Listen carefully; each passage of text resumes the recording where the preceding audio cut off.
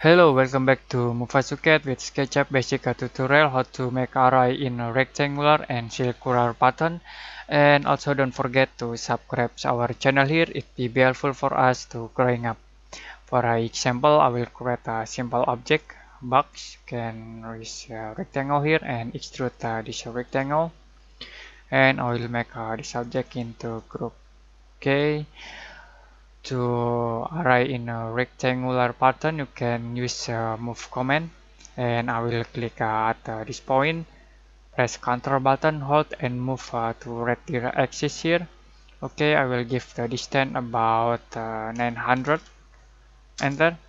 And if you want to make a quantity item here about uh, 5 you can tap 5x uh, and then enter and then we create uh, five object here.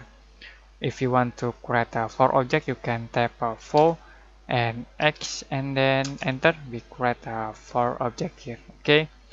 You also can select uh, this uh, all object and use uh, move command from uh, this point and then move into current axis here. Don't forget to press ctrl button and hold to copy and then give the distance about uh, 900 and enter. And then I will uh, copy about four times. You can type 4 and X and enter. Okay? We use the array rectangular with uh, move uh, command here. Okay? How about uh, circular pattern? I will delete first uh, this uh, all object. And then I will create the center point with uh, this construction tools okay I will create a center point at uh, this point. Okay in here.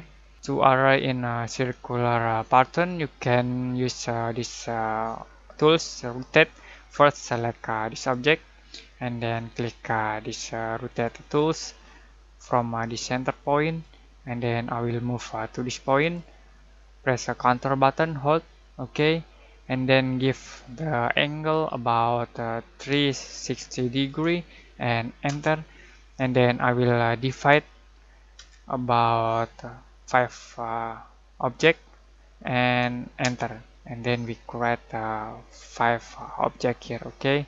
You also can change the item here about four.